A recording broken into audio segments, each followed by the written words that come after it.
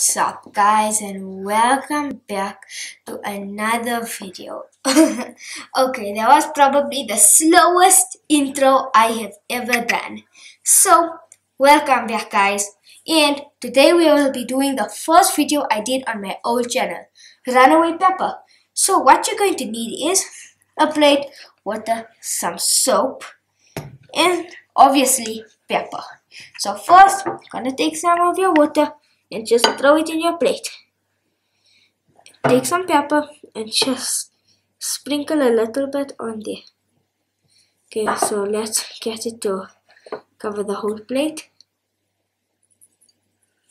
There we go. So now dip your finger in. Nothing happens besides some pepper sticks on your hand there. And that pretty boring of a science experiment.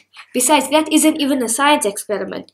So, what you're going to take is your dish soap. You're going to just take a little bit and put it right on your hand, just like that there.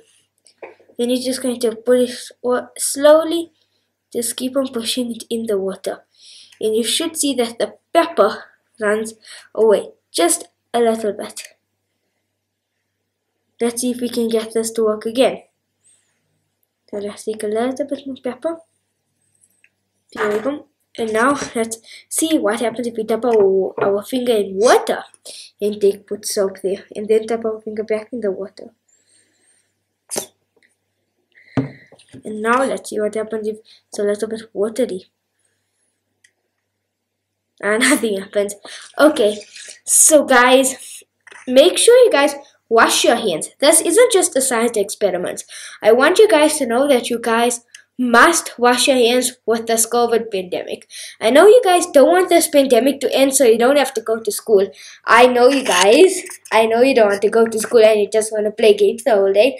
But you have to wash your hands so we can get through this. So Bye guys. Make sure you guys subscribe with notifications so you can go ding every time there's a new upload. Like the video and I'll see you in the next one.